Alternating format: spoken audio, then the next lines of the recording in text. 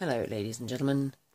I have been editing for hours and hours, and I'm tired, and therefore it's time for a cop out day, which means um, I'm going to put an item of food on or in my face.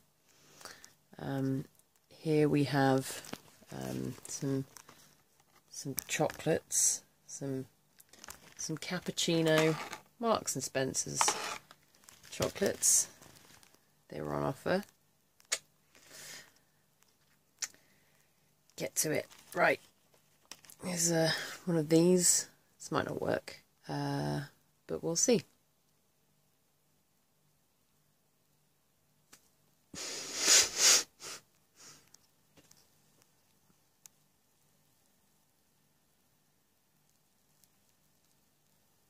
There you go. It's just like a a lovely, lovely face mask.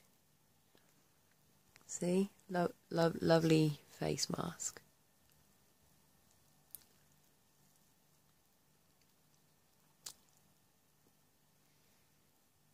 So sorry.